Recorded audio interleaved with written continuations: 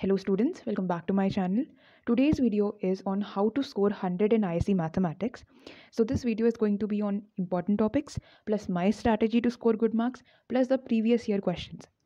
Now if I talk about the format of the paper, the paper is for 100 marks out of which 80 marks is your theory plus 20 marks is for your project work.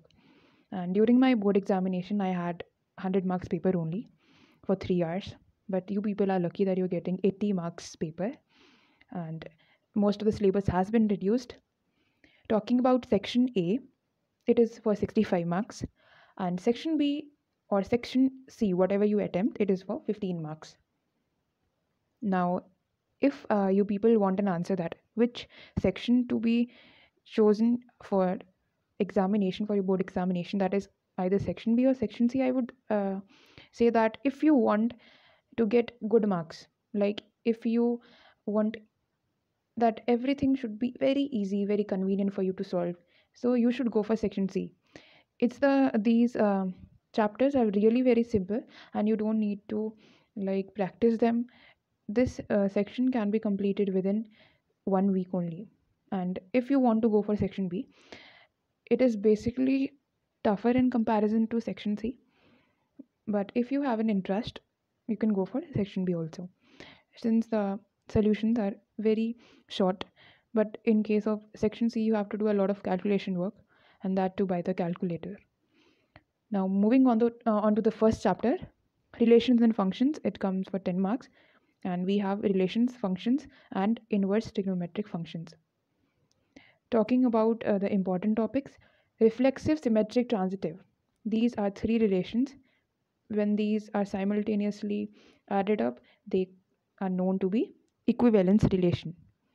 Now a question can be framed to prove these relations that prove it is a symmetric relation. Or maybe they can ask you which or uh, which relation is this right? Next is onto function one one function. Now onto function and one one function when they are simultaneously put in together they are, it is called bijective function. That is one one onto 1 1 it means injective while onto it means surjective and simultaneously it is called bijective. So um, the main case in onto function is that we have to prove it uh, prove the codomain equal to range. And still uh, some of the students they are struggling to uh, know about codomain and range. I know most of the students they don't know what is actually codomain what is domain range. So i have given an example it is f uh, that is from z to r. Now what is z? Z is the integers all set of integers. R is the real number. So z is the domain and r is the codomain. Actually you have to prove if you want to prove it an onto function then you have to show that the codomain is equal to range. And you know how to find the range? Put the function equal to y then find uh, it in terms of y. You will come to know the range. Moving on to the next uh, is inverse trigonometric it's uh, inverse trigonometric functions. And uh, i have not written many topics because each and every formula is very important. And one of the formula which is uh, mostly used is tan inverse x plus tan inverse y which is equal to tan inverse x plus y upon 1 minus xy and this formula is only applicable when xy is less than 1 so you need to check the condition as well. It's not that you're blindly solving the questions. You have to first check the condition then only the question can be solved. Otherwise, you will be landing up to a weird answer. Domain and range of trigonometric functions, that is sine, cos, and tan, need to be learned by heart. And these domains uh, and ranges, they help you to solve the principal value functions questions.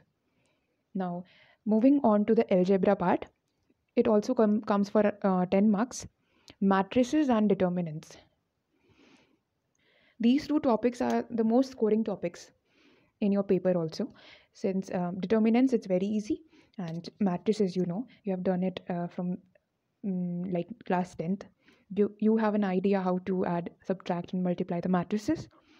Uh, now the most important part in this is symmetric and skew symmetric matrix. The question can be asked that prove a a matrix may be given. It will be given actually uh, prove that a equal to like 2 3 1 minus 1 it is a sum of symmetric and skew symmetric matrix and i am sure that you are able to uh, like understand whatever I am saying since it's all mathematical terms. So the formula is A equals to half A plus A uh, that is A transpose plus half A minus A transpose. Now what is transpose? Transpose is the interchanging of rows and columns. Second is your Martin's rule and in this uh, rule you have to like put ax equals to b then x equals to a inverse b and all that. So you need to have an idea how to find inverse of the matrix. The cofactors and adjoint of the matrix also. Uh, the third is a singular and non-singular matrix. I know most of you don't even know what is this. And if you know please uh, comment it. And it's already given that the determinant of a is equal to 0 it's called singular matrix. And determinant of A is not equal to 0, it's called non-singular matrix. And when mod uh, sorry determinant A is not equal to 0, then it has a unique solution. So we can uh, apply the Martin's rule and the matrix can be found by this formula x equals to A inverse B. Moving on to determinants. So uh, you must know how to find the determinant of a matrix and uh, the properties plus the proving questions are all important. The previous year questions also. And uh, without expanding the determinant is one of the questions which is asked in your examination. Like i know you people might have answered it orally only in your mind only since whenever this question comes without expanding it means the answer will be zero. Since you don't have to expand the determinant at any stage. And yes uh, one thing i want to tell you is that whenever you solve uh, any question of determinant of, for around 4 to 6 marks you must show at least 2 to 3 properties in that proving question. Otherwise you will not get marks if you only show one property and directly solve it directly expand the uh, matrix right? So it's important uh, to write around 2 to 3 properties in that question if it's of 6 marks directly expanding can make the determinant more complicated and you might not solve it. So uh, that is all for determinants. Now moving moving on to calculus part. Calculus part is for 32 marks. See 32 marks is crucial. So you need to like go through the topics of calculus and try to practice as many questions are possible. You can uh, take up the previous year questions solve differentiation integration questions. See if i talk about differentiation each and every topic it's like everything is important for you. Nothing can be left out from this uh, chapter. I can't frame out the important ones like the logarithmic differentiation exponential differentiation plus uh, the differentiation of uh, implicit functions the second derivatives and all these uh, topics they are of equal importance. So i can't write anything in this. And the proving questions are, have to be practiced a lot. Now comes indeterminate form of limits. And uh, in this L'Hospital's theorem is what you have to apply. For this question uh, if it comes uh, like it will actually come. You have to first see that if it is uh, if it's of the form 0 by 0 or infinity by infinity. If it's of any of these forms then you can apply this theorem. And it's really an easy topic. So you have to write all the steps in your answers when you're writing the solution. Like it's of 0 0 so i apply L'Hospital's theorem. And let me just give you an example. Like limit x tends to 0 sine x by x you know uh, the direct answer for this is 1 but how it comes i'll tell you. Sine x sine 0 is 0 x is 0 it is 0 by 0 form. You will be writing by applying L'Hospital theorem differentiating the numerator and denominator right? And they have to be differentiated separately. You don't have to apply any uh, rule like the quotient rule. You have to differentiate them separately. After differentiating it we get sine x is equal to cos x and x differentiation is 1 i haven't uh, written limit x tends to 0 here but it is mandatory to write uh, limit x tends to 0 in every step. So x is equal to 0 now. Now cos 0 is equal to 1 the answer is 1 see you need to have the clarity that you're you're not having 0 to the power 0 or infinity to the power 0 any of these forms in your syllabus. So it is good to only practice those questions which is in your syllabus. Next is application of derivatives. Already two of the topics have been deducted from this chapter and uh, the left out portions are uh, equation or the slopes of tangent and normal. That is the first exercise if you have that S. Chand's book.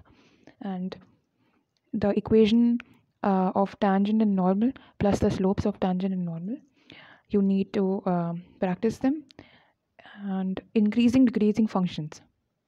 Now let me just uh, show you the formula.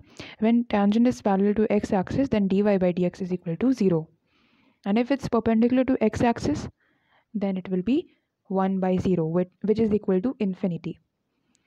And if they ask about normal parallel to x axis then you need to know how to find all this moving on to the equation of tangent it is y minus y1 equals to m x minus x1 you have done it uh, in your 10th class and 11th also.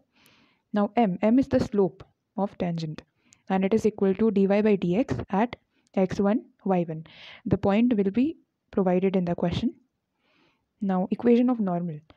What happens in this case uh, the slope it becomes the negative of the reciprocal of slope because m into like m1 into m2 is equal to minus 1 right from this formula.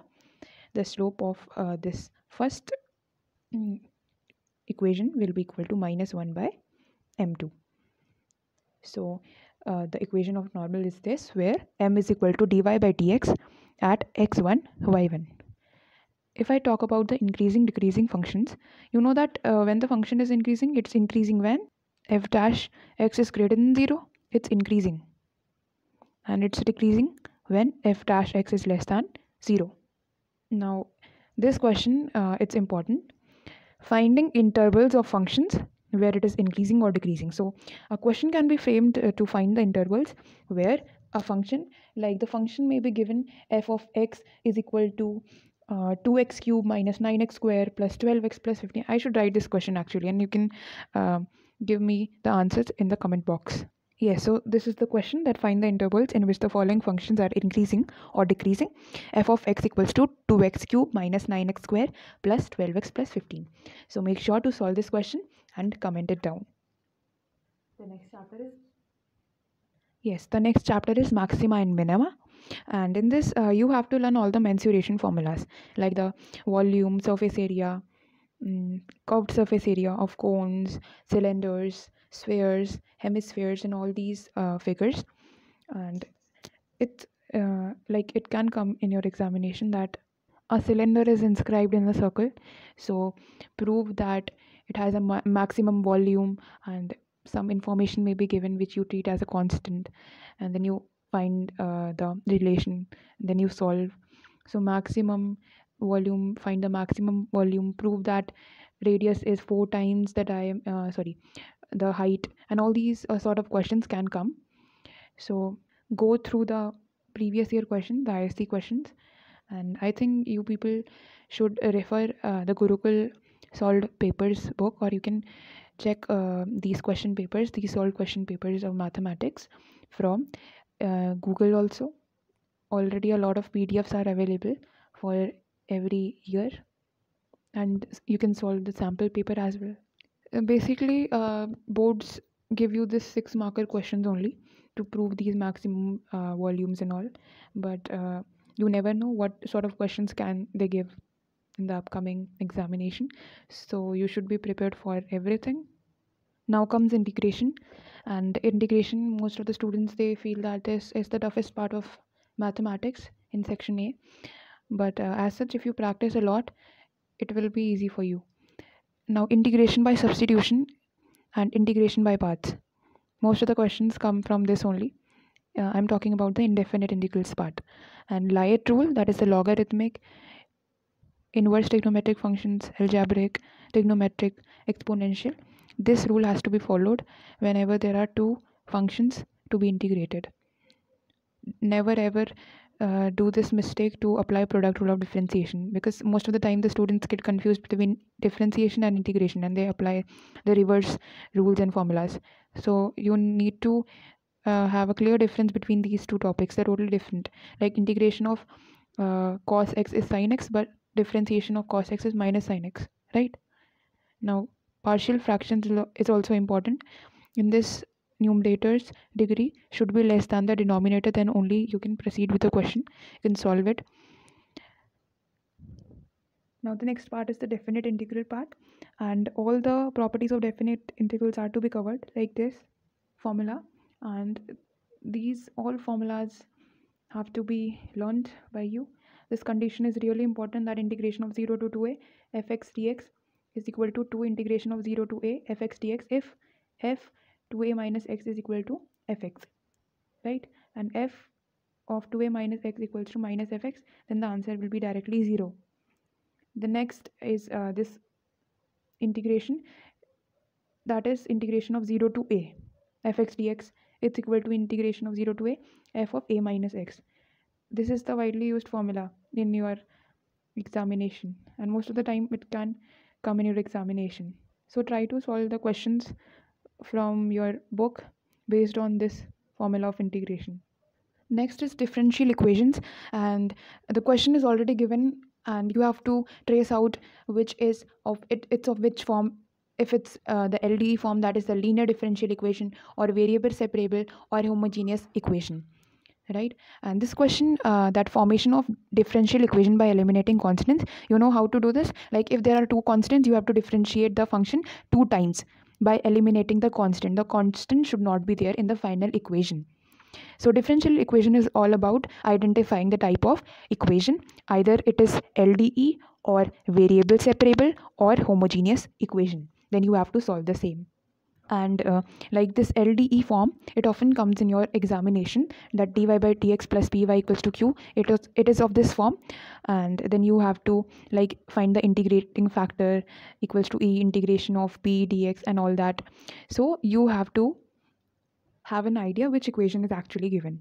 So that you don't waste your time and don't solve it with the wrong method moving on to probability uh, one question which will definitely come in your examination is the Bayes theorem. That is for 6 marks. And this question is really easy to solve. You don't have to practice a lot for that but at least uh, 5 to 6 questions you must do for that like the previous year questions. And rest of the uh, syllabus like um, the Bernoulli trials and all have been reduced. So the left out portion is all important. You can revise it. It's not a big deal to do all those like the independent and dependent events the conditional events the laws of probability you can easily do that. So this is all for section a. In the next video i'll tell you how to uh, solve uh, and get score full marks in section c. That will be the part 2 of the video. Since it, uh, this video has been very long so i don't want to waste uh, the time and in that video only i'll share my strategy plus my reference textbooks and the online online websites i preferred to solve all those mock question papers. And thank you for watching the video. If you like this make sure to subscribe my channel also and share it to most of the students. It may be helpful for them also. Thank you